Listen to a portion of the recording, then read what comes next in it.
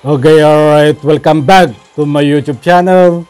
I'm Mandis Vlog. Heto, mainit na naman mga kaibigan ang ating uh, pag-uusapan. Alam niyo ba, itong uh, leader ng terorista na si Arna Tibes ay katatapos lang po ng hatol sa kanya. Hmm. Inatulan na ika nga po ay patalsikin sa Kongreso. Laman ng video na yan mga kaibigan ang ating tatalakayin at kung bago pa lang po kayo sa aking maliit pa na YouTube channel, inanyayahan ko po kayo. Please subscribe, sabay-sabay po nating i-like ang video na ito kung uh, nagustuhan nyo po. Ako po'y muling nakikiusap mga kaibigan kung pwede lang ho. Patapusin po nating panoorin ang kabuuan ng vlog na ito at nasa ganun po lubos po nating maunawaan. Heto na, samahan niyo po ako mga kaibigan. Committee, by unanimous vote of its members, recommends to the House of Representatives the imposition of the penalty of expulsion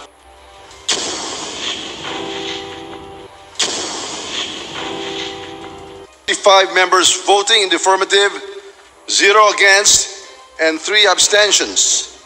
The findings and recommendations contained in committee report number 717 on the matter of Representative Arnolfo Arni A. Teves are now adopted. The committee considered the following acts committed by Representative Arnolfo Tibis Jr. which taken collectively lead to the recommendation of the committee. Number one is ongoing persistent pursuit of his application for political asylum in the country of Timor-Leste. Number two is continuous absence without leave in the House of Representatives in violation of our House rules. And number three is indecent behavior portrayed in social media which reflects discredit in the House of Representatives and diminishes the stature of the position. The main basis for this recommendation is his continuous absence without leave in the House of Representatives by his persistent pursuit of political asylum in Timor-Leste. This constitute abandonment of public office and violation of his oath of office as House member. This main act committed by Representative Arnolfo Tivis Jr. reflect discredits on the House of Representatives and constitute violations of Section 141, Paragraph A and B, Rule 20 of Rules of the House of Representatives and disorderly behavior that warrants a recommendation for disciplinary action. Basis of the substantial evidence acquired by the Committee on Ethics and Privileges, this committee, by unanimous vote of its members, recommends to the House of Representatives the imposition of the penalty of expulsion Okay, alright. Uh, yan po mga kaibigan, expulsion. Hmm? Napakaliwanag. At uh, palakpakan po natin. Hmm?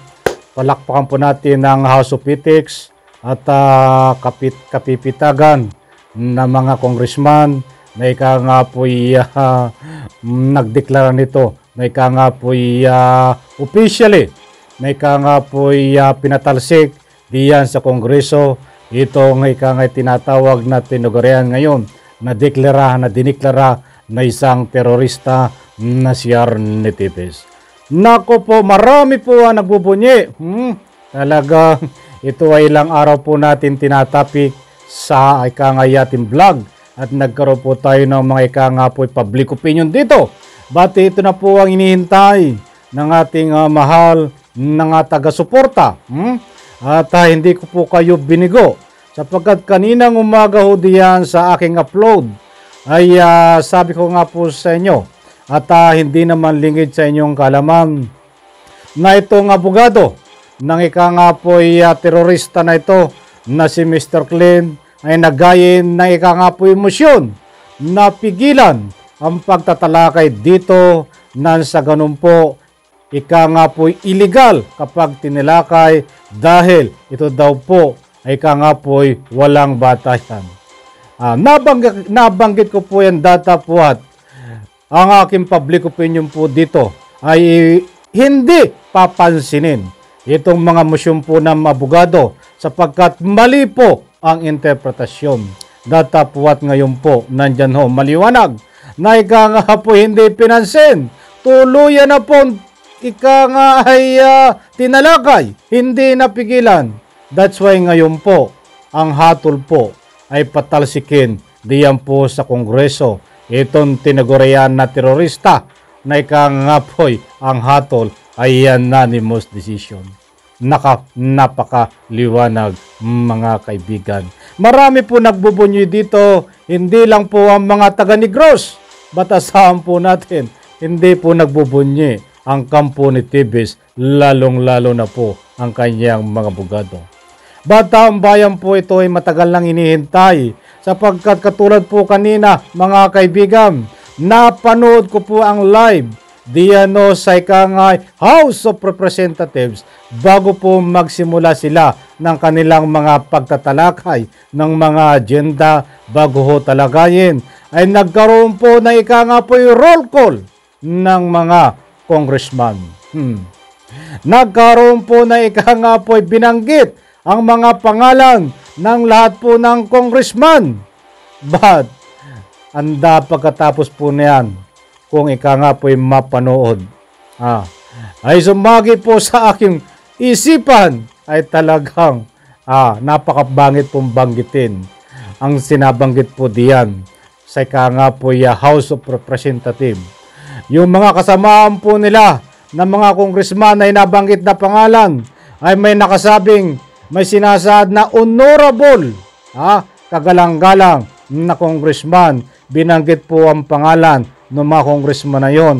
At kasama niya dampo, dyan po na nabanggit ang honorable Arnold po Tibes, mga kaibigan. Ha? Marami pong taong bayan na nasaktad diyan sapagkat honorable po ang tawag. Ito ba ay dapat tatawagin ng honorable kagalang-galang? Ha? Dahil uh, ang taong bayan po ay nagtatanong, isang terorista, tapos sasabihin nyo honorable. Ah, eh nagtatanong lang po ako, mga kaibigan, may public opinion, na ika nga po'y suntok, sa ika nga po'y justice system, ika nga'y pang-insulto, dito ho, sa ika nga po'y justice system sa ating bansang Pilipinas, lalong-lalo na po diyan sa Kongreso. Honorable kung tawagin kagalang-galang, subalit tinuturong utak di umano sa pagpaslang kay Governor Digamo. Kaya tantaong bayan ho nang mapanood yon. Ang dami po nagko-comment diyan sa akin uh, comment section. Diyan po sa aking mga upload, nagbibigay po sila ng public opinion. Sila po ay nasasaktan na tinatawag po itong ikangay honorable Arnold Potebes. But what ngayon po ay nabago ang kanilang ikangapoy mga nasa isip at nagsasaya na ang kanilang mga damdamin ang kapwa ko tambayan. Sa halip po tawagin na pong honorable, ito ay naalis na po. Mga kaibigan sapagkat nagkaroon po ng desisyon ang House of Ethics ang mga humahawak po dito sa pagpapatalsik sa congressman na ito na official po na ito po ay hindi na congressman, mga kaibigan. Napakaliwanag po sa ruling ng video na yan ang pinagbatayan kung bakit ito ay kailangan patalsikin na diyan po sa pagiging congressman, mga kaibigan. Kahit po hindi na po isama ang Digamo case. Kahit hindi na po isama na maging batayan ang ika nga po pagiging terorista nito, mga kaibigan, dito na lang po sa pagiging absent niya sa pagiging congressman para magsilbi bilang isang congressman ay napakalaking batayan na po para ito ay mapatalsik diyan ho sa kongreso.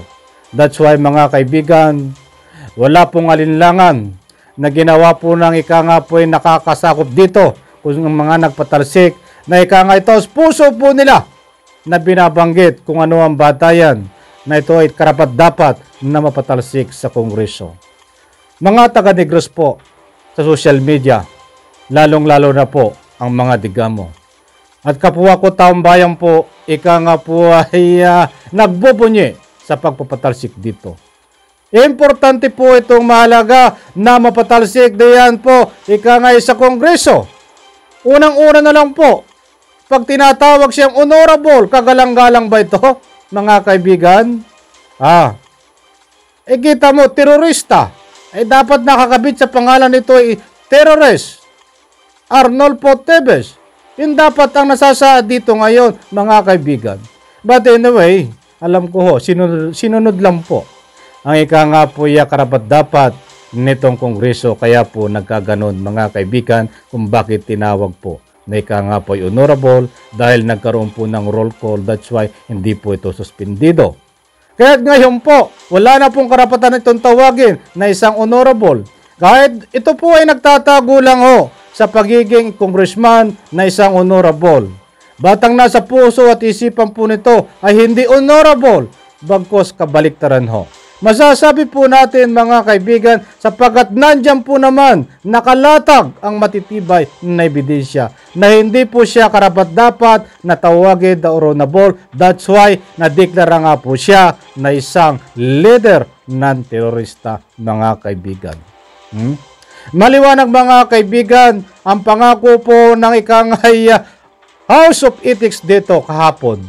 Ah, na ngayon po Miyerkules ilalabas ang desisyon. Hindi po tayo binigo. Maraming salamat at palakpakan po natin itong mga congressman na ito. Ha? Ginagawa lang po nila ang trabaho. Hmm. Isipin mo, ah, ilang buwan no ito na ika nga po yung nasuspende.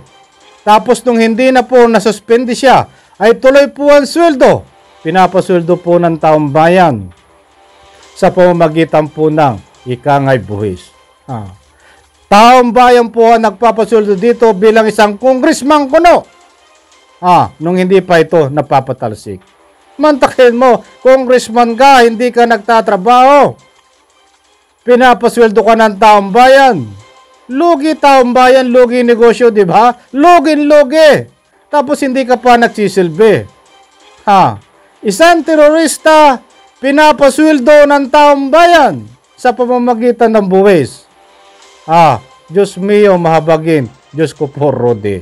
Maliwanag po ito na isang ika nga po hindi makangay kaya-aya sa pandinig at sa pananatili sa kongreso nito.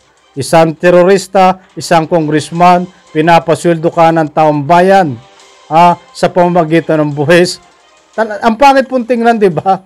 Hindi lang pangit, wala po tayong batas na sinasaad sa Kongreso na dapat pasweldohin ang isang terorista, na dapat manatili sa Kongreso ang isang terorista. Wala po tayong batas dyan. Kaya't palakpakan po natin dahil ngayon po finally ay nadeklara na po na ito na ikangay officially pinatalsik na po diyan sa Kongreso, mga kaibigan. Hmm. Importanteng mahalaga po itong mapatalsik sapagkat mga kaibigan, ah, ginagamit lang po ang pagiging congressman ika nga po'y sa kanyang katauhan. Pag sinabi ka pong congressman, ikaw po ang nagsisilbi sa iyong nasasakupan sa pamamagitan po ng hindi pag-abuso ng iyong kapangyarihan, mga kaibigan. Pag sinabi ka pong congressman, Pinagsisilbahan mo ang iyong nasasakupan na binuto ka noong ng mga eleksyon na nagdaan para maluklo ka sa iyong kinatatayuan ngayon. Subalit iba ho ang supli nito. Inaabuso niyo, inaabuso niya ho ang kanyang kapangyarihan, mga kaibigan. That's why nasabi ko po yan sa ruling po ng mga ebidensya. Kaya ho siya nadeklara na isang terorista ay hindi lang po sa Digamo case, ang pinagbatayan. That's why marami pa po na mga ika nga pananakot, paghasik ng lagim, gamit ang kanyang kapangyarihan sa pagiging isang congressman. Kaya't ngayon po, pumapalakpakan tainga ng mga tao.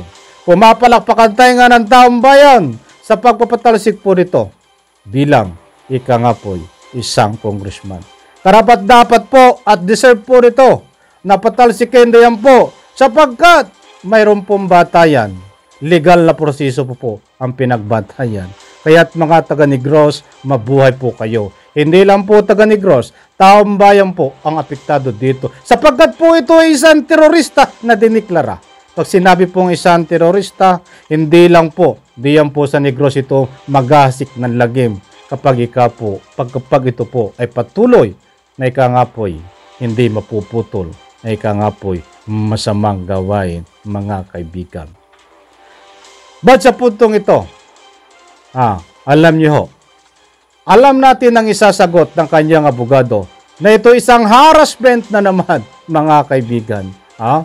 Alam po natin na ito mga ito kampo ng mga tibes, lalong-lalo na po ang kanyang mga abogado ay desperado na. Wala po itong iba na ika nga po gawin na imbento na mga pananalita, kundi isang walang ebidensya, harassment. Ah, common sense Tingnan po natin bukas, paglutang ng kanyang abogado, kung ano po ang sasabihin nito.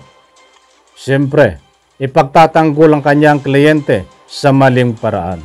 Ah.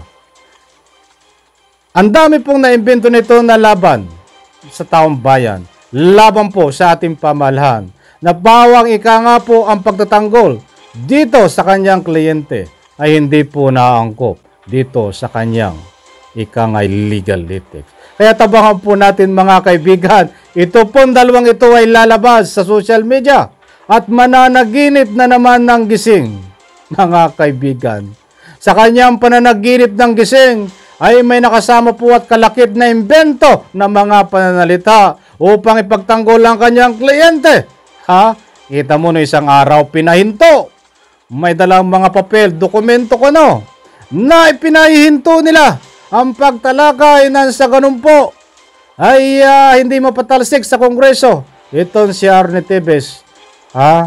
At ang nakapaloob doon sa kanilang mga musyono ay wala pang hatol, mga kaibigan, dahil wala pa rin ebidensya. Diyos mayo, ay basura po yun eh. Ayon po sa ating pagsasaliksik, hindi po yan sinasahad. Yung kanya po ay pawang, nililito lang. Ang ika nga po ay taong.